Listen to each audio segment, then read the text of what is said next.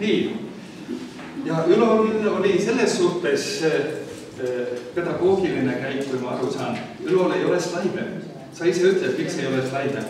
jah, kas sa tahad mikrofoni rääkida või? ei taha midagi.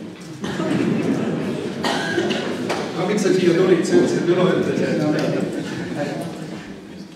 tänan kutsumast. jah, arvan küll, siis sa ei pea nii.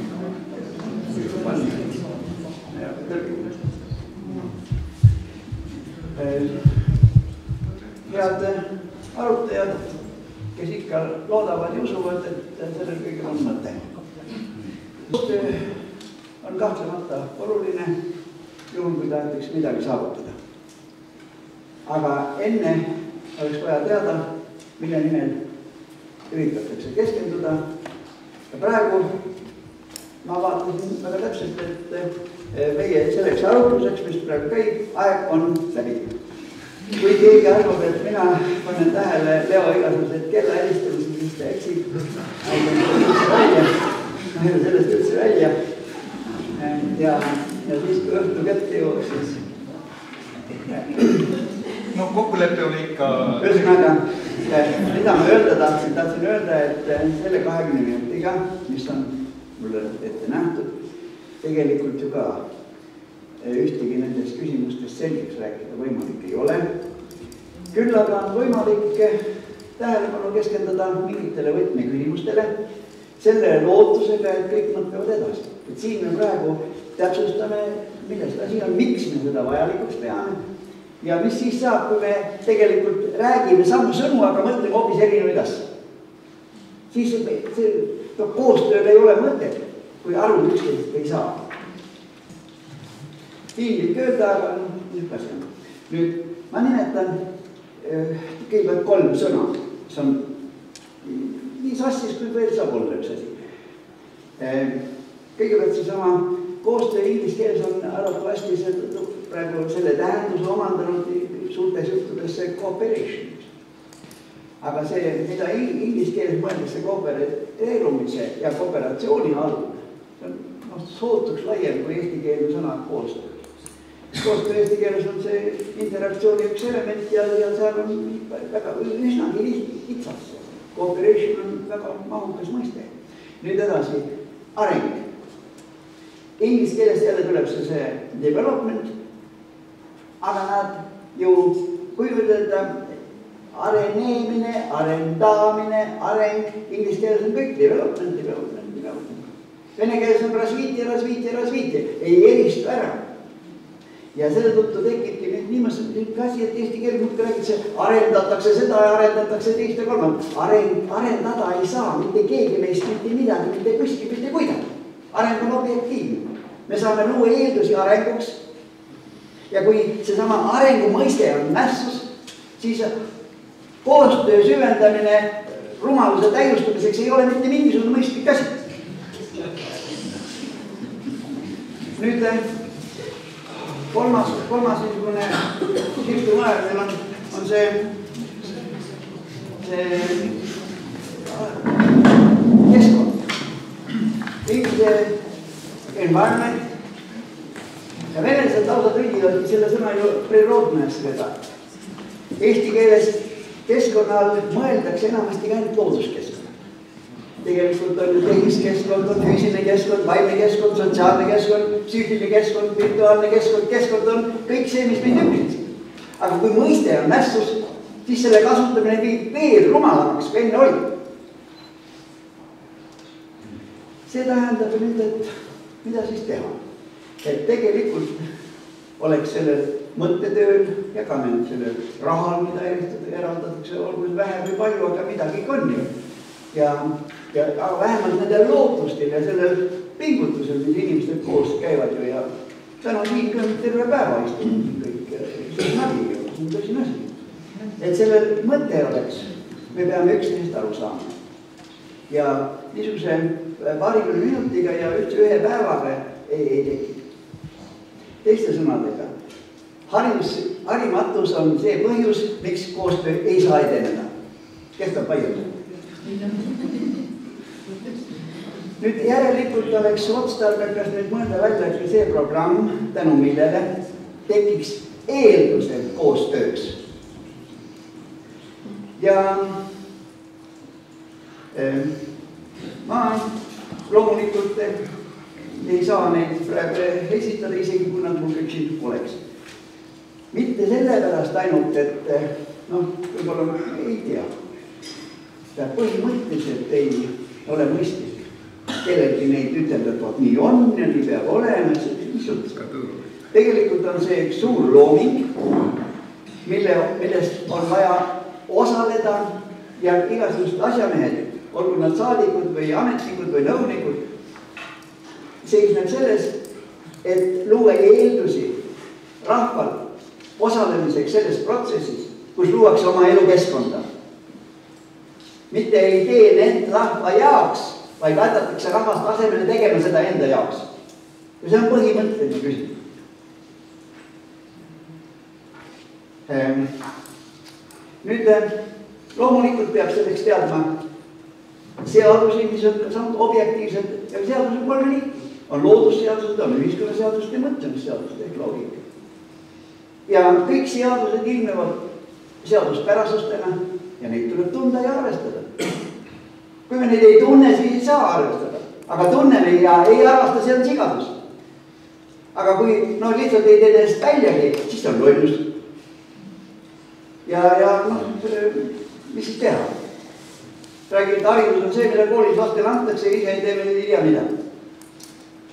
ja nüüd äh,. nüüd äh,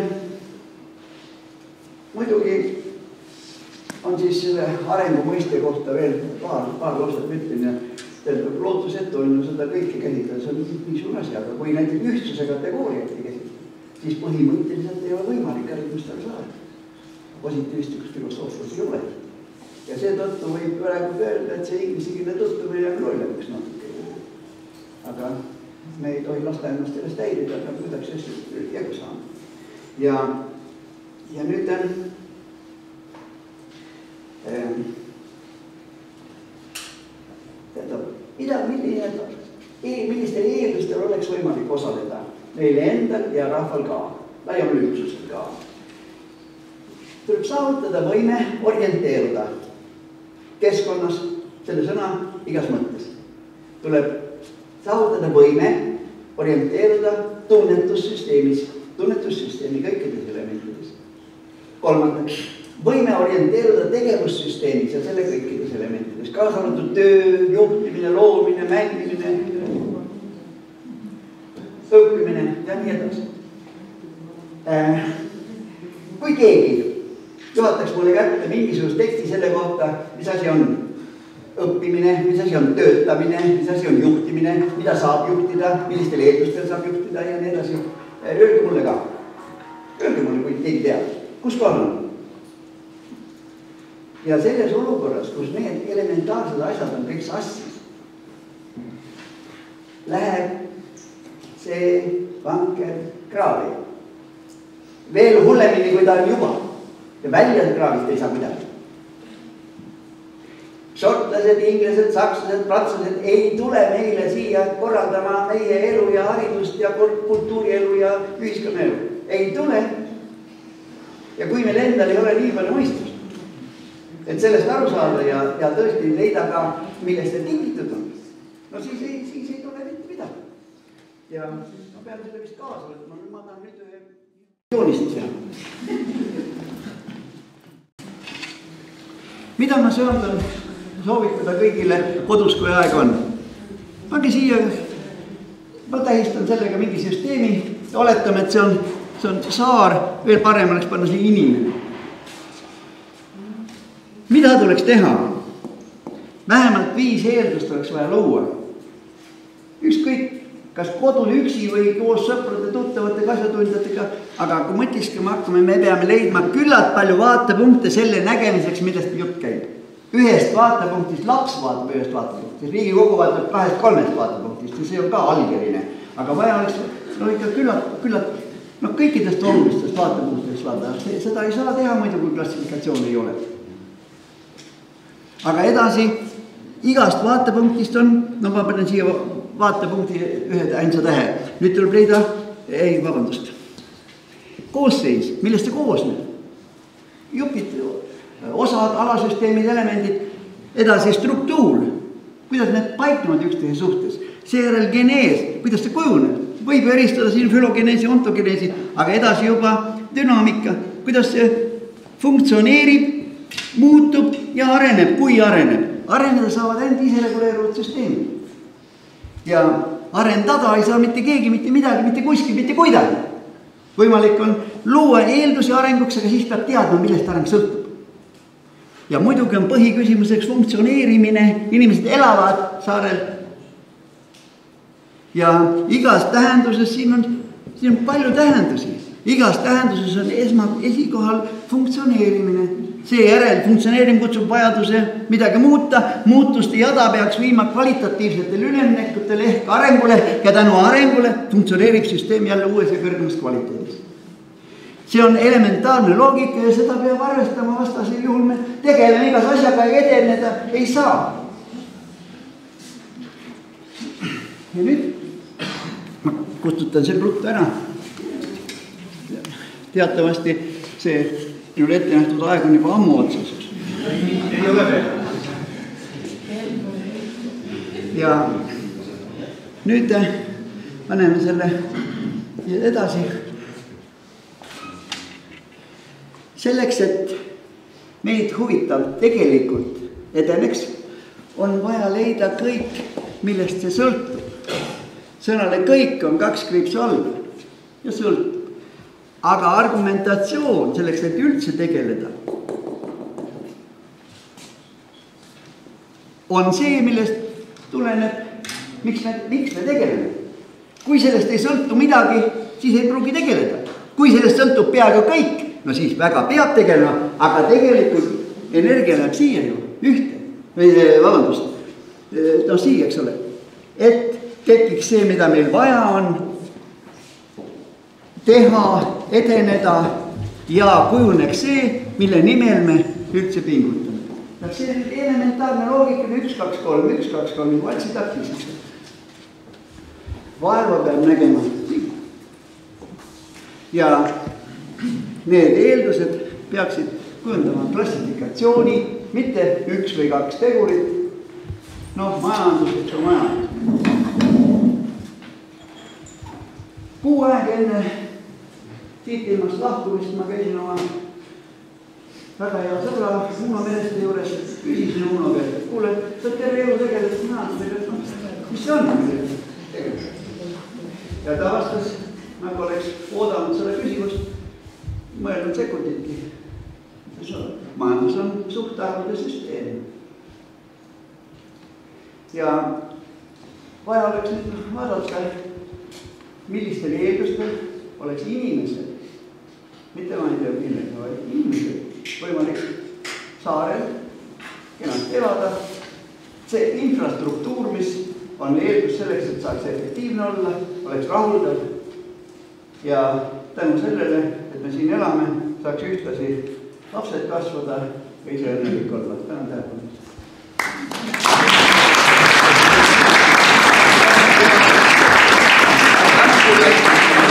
sa rääkisid ühe ühel momendil ka juhtimisest. kas sa lühidalt kommenteeriks, et kas saab saari juhtida või kuidas sina seda juhtimist käsitled, käsitleksid? jah. Juhtimise objektiks saavad olla ainult protsessid, mitte midagi muud juhtuda ei saa, ainult protsess. aga nüüd selleks, et saaks juhtida, selleks peab siis tundma neid protsesse mis võiksid olla juhtimise objektiks. siis peab teadma seda lähtekohta, seda seisundit, milles me praegu oleme. käsitlema seda kui probleemi, tundma selle kõiki olulisi karakteristikuid. Nende peal saame fikseerida, milline seis praegu on ja looma ühtlasi kujutluse, missugune peaks olema. vastuolu vajaliku ja tegeliku vahel ongi see, mida me probleemiks nimetame ja selle, seda ei saa kõrvaldada kõrvaldada saab selle põhjuseid. aga need tuleb eelnevalt avastada, sõnastada, avalikustada ja siis luua meetmete süsteem nii nende takistavate tegurite kõrvaldamiseks või vähendamiseks, kui kõrvaldada ei suuda. ja soodustavate tegurite loomiseks, tugevdamiseks, kindlustuseks. siin arvamine. ja kui see eeltöö on tegemata, siis igasugune koostööjutt on lobisemine, lobisemine teiste eksitamiseks ja endale, enda rolliks tegemiseks. aga see eeltöö peab olema tehtud ilma selleta ei ole mõtet. aja, energia, lootuste ja kõige muu raiskamise vorm. ja see kindlasti kedagi ei kaunista. Aga nüüd juhtimise eeldusteks ma nimetan siiski seda veel, et kui me lähtekoha teame, siis me peame looma kujutluse see, sellest seisundist, kuhu me tahaksime jõuda ja kui me sinna tahte tõesti rakendame selle kujutluse juurde, siis see on eesmärk. vastasel juhul oleks unistus aga nüüd edasi juba peab kujundama, kavandama etapid. igas etapis on oma võimalused ja piirangud. Iga etapi väljund peab sobima sisendiks järgmisele etapile, iga protsessi väljund peab sobima sisendiks järgmistesse protsessidesse. ja sel juhul saame ja peame koguma kogu aeg andmeid selle kohta, kuidas tegelikult läheb. see asi, et teised mujalt läheb veel rohkem inimesi minema kui Saaremaalt, ei ole mingi argument olnud aga peame vaatama, kuidas tegelikult läheb ja arvestama seda edasises tegevuses. sel juhul on tegevus tagasisidestatud. Kui tegevus ei ole edasisidestatud ega tagasisidestatud, siis juhtimist ei toimu. Pole tähtis, kas Saaremaal või Toompeal, kuskil ei toimu seda peab teadma, missuguseid protsesse me juhime, milline on see keskkond, tänu millele saab juhtida ja kuidas keskkond muutub selle juhtimise tõttu. millised eeldused kujunevad edasiseks tegevuseks. ja muidugi mõista on eesmärgi kõrval kindlasti vajalikud vahendid, vaeva peab nägema peamiselt vahendite loomiseks. aga siis tuleb kehtestada printsiipide süsteem, mille kohaselt tegutseda ja kriteeriumide süsteem, mille alusel hinnata ennast ja teisi, noh inimese tegevuse tulemusi. tänan tähelepanu eest.